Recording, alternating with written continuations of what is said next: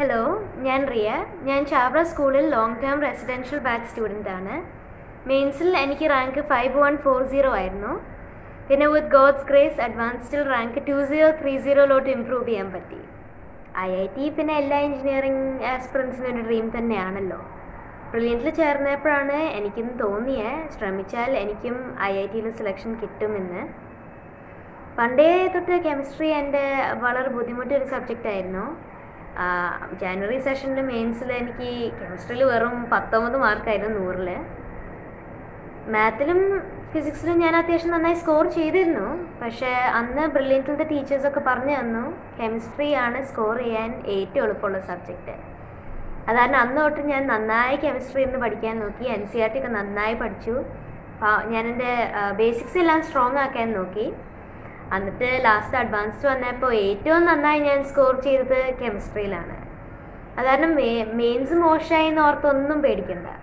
അഡ്വാൻസിന് വേണ്ടി ഞാൻ ബ്രില്യന്റിന്റെ മോക്ക് എക്സാംസും പ്രീവിയസ് ഇയർ ക്വസ്റ്റ്യൻ പേപ്പേഴ്സാണ് മെയിനായിട്ട് ചെയ്തത് പക്ഷേ ഏറ്റവും ഇമ്പോർട്ടന്റ് നമ്മൾ ചെയ്യണ പേപ്പേഴ്സിന്റെ തെറ്റിയ ചോദ്യങ്ങൾ ഇരുന്ന് സോൾവ് ചെയ്യാനായിരിക്കും.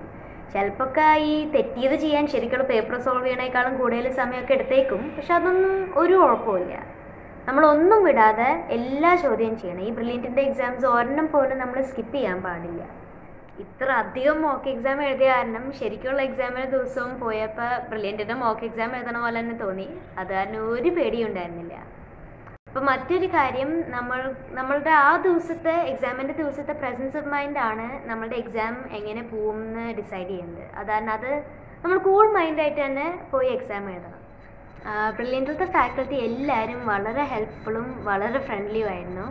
നമ്മൾ എന്ത് ഡൗട്ട് ചോദിച്ചാലും എത്ര പ്രാവശ്യം ചോദിച്ചാലും അവരെല്ലാം പറഞ്ഞുതരും എത്ര പ്രാവശ്യം വേണമെങ്കിലും പറഞ്ഞുതരും ബ്രില്യന്റിലത്തെ director George sir Binil sir പിന്നെ ഞങ്ങളുടെ സെന്ററിന്റെ കോർഡിനേറ്റർ ശ്രീനാഥ് സാറ് പിന്നെ ഞങ്ങളുടെ ബ്രില്യന്റിലത്തെ ക്ലാസ് ടീച്ചർ ചിഞ്ചു മിസ് ഇവരെല്ലാവർക്കും ഞാൻ നന്ദി പറയുന്നു.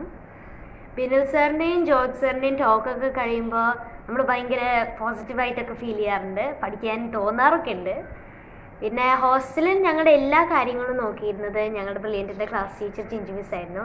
എങ്ങാനും പഠിക്കുന്നിടയ്ക്കൊക്കെ ഉറങ്ങിപ്പോവാണെങ്കിൽ എഴുന്നേൽപ്പിക്കാനും പിന്നെ പഠിക്കാൻ മോട്ടിവേറ്റ് ചെയ്യുന്നത് എല്ലാം ചിഞ്ചു മിസ് ആയിരുന്നു. പിന്നെ കേരള എഞ്ചിനീയറിംഗ് കഴിഞ്ഞിട്ട് എനിക്ക് റാങ്ക് ഫിഫ്റ്റി ടു കിട്ടിയപ്പോൾ ശ്രീനാഥ് സാർ എനിക്ക് വാട്സാപ്പിൽ രണ്ട് തംസപ്പ് ഒക്കെ അയച്ചു തന്നിരുന്നു. അതൊക്കെ ഭയങ്കര നല്ല മോട്ടിവേഷൻ തന്നെയായിരുന്നു. ലോക്ക്ഡൗണിന്റെ സമയത്തും ബ്രില്യൻ മൊത്തം നേരം നമ്മുടെ കൂടെ ഉണ്ടായിരുന്നു. ഓൾമോസ്റ്റ് എല്ലാ ദിവസവും എക്സാം നടത്തി തന്നിരുന്നു. എന്നിട്ട് അതിന്റെ റിക്വയർഡ് ഫോളോ അപ്പും അതിന്റെ സൊല്യൂഷൻസും നമുക്ക് വേണ്ടി കുറേ ഡിസ്കഷനൊക്കെ വെച്ചിരുന്നു. അതിനെല്ലാത്തിനെയും ബ്രില്യൻ ടീമിനെയും ടീച്ചേഴ്സിനെയും എല്ലാവർക്കും വലിയ താങ്ക് പിന്നെ എപ്പോഴും എന്റെ കൂടെ നിൽക്കണ എന്റെ പേരൻസിനെയും ഗ്രാൻഡ് പേരൻസിനെയും ഫ്രണ്ട്സിനെയും പിന്നെ ചാവറ സ്കൂളിലത്തെ ടീച്ചേഴ്സിനെയും പ്രിൻസിപ്പൽ കരീത്രച്ചനെ എല്ലാവരെയും ഞാൻ ഓർക്കുന്നു പക്ഷെ എന്തായാലും ഏറ്റവും ഇമ്പോർട്ടന്റ് കാര്യം ദൈവത്തിന്റെ അനുഗ്രഹമാണ്. നമ്മൾ എത്ര ശ്രമിച്ചാലും ദൈവത്തിന്റെ അനുഗ്രഹം ഇല്ലെങ്കിൽ ഒന്നും നടക്കില്ല. എന്റെ ഒരാളുടെ മാത്രം എഫേർട്ട് കൊണ്ടല്ല എനിക്ക് ഈ റാങ്കൊക്കെ കിട്ടിയത് ഈ റാങ്ക് വേറെ കുറേ പേരുടെ സഹായവും കഷ്ടപ്പാടും പ്രാർത്ഥനയും കൊണ്ടൊക്കെയാണ് വാങ്ങിയേക്കുന്നത്. എല്ലാവർക്കും താങ്ക് യു ഇനി എക്സാം എല്ലാ എഴുതാനുള്ള എല്ലാവർക്കും ഓൾ ദ വെരി ബെസ്റ്റ്